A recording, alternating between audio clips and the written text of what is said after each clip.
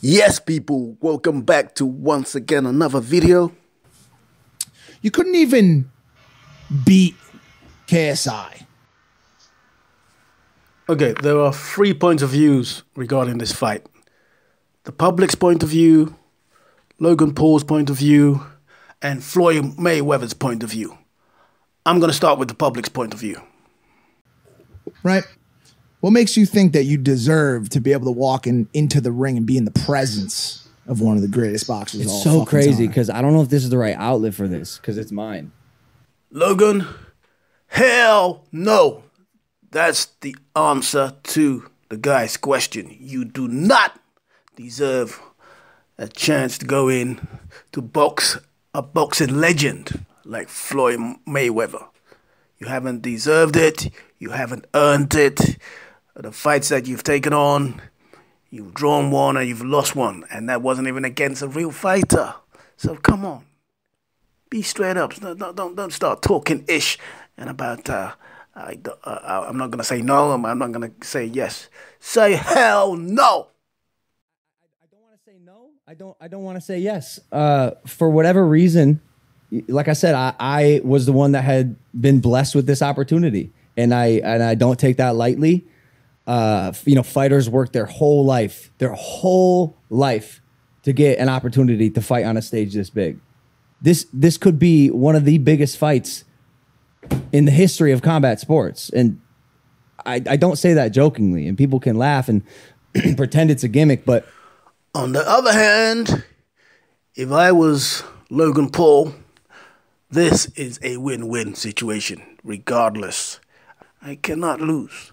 People don't expect me to win because I've never won a, a boxing match.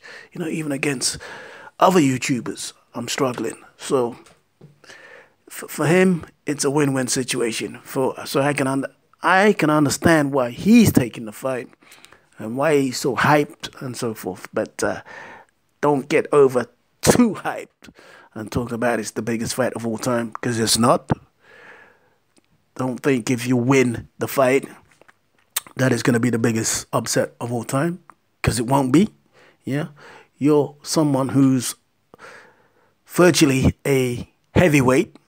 We're talking cruiserweight between cruiserweight and heavyweight, and he's a welterweight or super welterweight. So you're four or five weights bigger than he is. This is the reason why this is, isn't a professional fight because the Professional Boxing Association wouldn't allow a heavyweight to get in the ring with a welterweight. It doesn't make any sense. Apart from when you look at the bag. They're both going for the bag, people. They're both going for the bag. That's all it is. You know, is that's all it is. A nice little payday.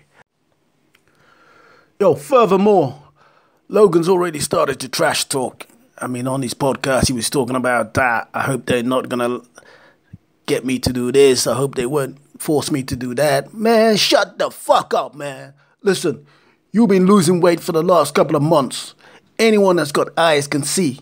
So it's obvious that you've already signed a contract.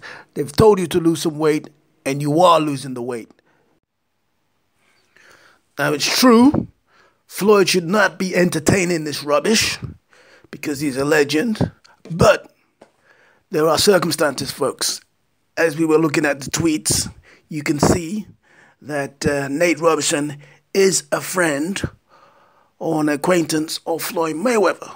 So when Jake Paul knocked out Nate Robinson, and the whole community and the culture was kind of shocked and embarrassed and all that. You know, I mean, Floyd had no choice. He said, Whoa, I cannot let that pass. I cannot let this pass. So, what he's gonna do, he's gonna say, Listen, I'm gonna go in there and just sort out, even though this guy is much bigger than me, he has a longer reach, but he's no professional. So I'm gonna sort out and take care of this for the culture and for the people. That's all well and good, Floyd, but for me, I would still pass because it's not worth it. All you're doing is giving the Paul boys even more clout. and he's talking about this is the biggest fight ever.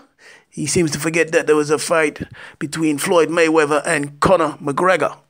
Yeah, that racked up millions. We're talking hundreds of millions of pounds. I'm talking, people saying Floyd took away between 100 and 200, and uh, Conor between 50 and 100 million dollars. So this is not going to be as big as that. So Logan, calm the fuck down. So there you go, folks. Hope you enjoyed that video. I'll see you soon. I'm out.